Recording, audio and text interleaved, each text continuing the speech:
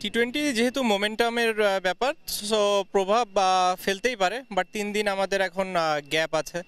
So আমরা regroup করে আবার নতুনভাবে শুরু করার চেষ্টা করব। যেহেতু একটা ম্যাচেরই ব্যাপার যদি আমরা আমাদের ভালো ক্রিকেটটা খেলতে পারি, তাহলে অবশ্যই ভালো রেজাল্ট করা সম্ভব।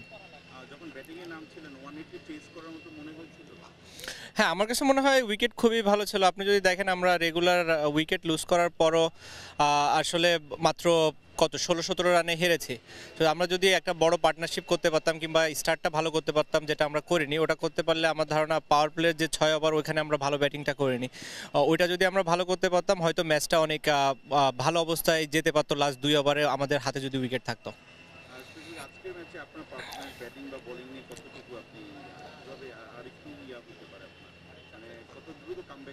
ব্যাটিং তা যাই না দেখি কত দ্রুত কাম করা যায়।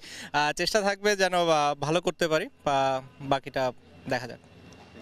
থ্যাংক ইউ রুবেল ভাই মানে প্রথম তিনটা ম্যাচে আপনারা হেরেছেন এরপর পরপর চারটা ম্যাচে আপনারা জিতলেন। তো মানে আপনার খুব ভালো বোলিং হয়েছে ভালো একটা টোটাল ছিল আপনাদের। তো কেমন অনুভূতি হচ্ছে? আলহামদুলিল্লাহ প্রথমেই যে আমরা ভালো স্টার্ট করার পরে আমরা ডে বাই ডে ইম্প্রুভ করতেছি। আমাদের ব্যাটিংয়ে আজকে টপ অর্ডার দিয়ে খুব ভালো রান আসছে, যদিও আমরা লোয়ার অর্ডার ফেল করছি। তারপরেও আমাদের এনিয়াও যে আমরা এক এক দিন এক একভাবে আর কি মানে ইমপ্রুভ করতেছি। এই জন্য আমাদের ভালো লাগতেছে। এটাই আমার কাছে তাই মনে হচ্ছে। আমরা দেখছি যে আপনাদের ব্যাটিং অর্ডারে এক একজন এক একদিন পারফর্ম করছে লাইক ইয়াসির আলী রাব্বি, মুশফিকুর রহিম, আজকে দেখুন সাব্বির রহমান বা নতুন আলামিন। সো মানে অবশ্যই, যে আমরা আমরা কোনো একটা প্লেয়ারের উপর নির্ভর না। যে আজকে আমাদের সবচেয়ে বেস্ট প্লেয়ার বাংলাদেশের বেস্ট প্লেয়ার মুশি, সে আজকে হয়তো ভালো করতে পারে নাই। কিন্তু তা, তারপরও আমরা ওয়ান এইট্টি করছি। তার মানে আমাদেরকে, আমাদের মানে অ্যাবিলিটি আছে যে কোনো মানে বড় প্লেয়ার ছাড়াও মানে যারা ফর্মে আছে তারাও অফ ফর্মে গেলেও যে আমরা ওয়ান এইট্টি করতে পারি, আজকে আমরা এটা মানে দেখতে পারছি। আর একটা বিষয় হচ্ছে, আপনার